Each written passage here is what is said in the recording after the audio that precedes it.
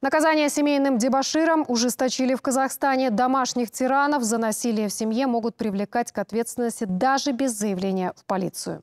Теперь приехавшему на вызов по факту домашнего насилия полицейскому будет достаточно показаний свидетелей или записи камеры видеонаблюдения, чтобы составить протокол. В этом случае заявление от пострадавшей стороны становится необязательным. А вот шанс на примирение в суде у семейного тирана все-таки остается, но пойти на мировую он сможет только единожды. Примириться дважды или более раз у него уже не получится. Соответствующие поправки в административный кодекс вступили в силу 1 июля. И за два дня было возбуждено сразу больше 300 административных дел. 65 человек задержали.